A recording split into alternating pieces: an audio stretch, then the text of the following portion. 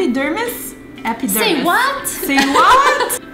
and Dr. Brei, what is an epidermis? You know what? I'm happy that you asked this question because it's something that covers our skin and it is the outermost layer of our skin and it's actually covered with multiple layers, about 20 layers of dead skin cells.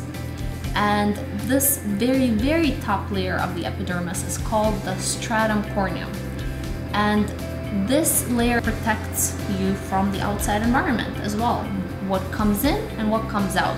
So although this layer is dead and we shed it roughly every 30 days or so, we still need it to protect us because if this epidermis, um, it's out of whack, let's say out of balance, if you don't have the right bacterial diversity on your skin, your epidermis will either lack moisture, be irritated, inflamed, and it's gonna show up in conditions such as rosacea, acne, dermatitis, mm-hmm. and this is why we want to keep it protected.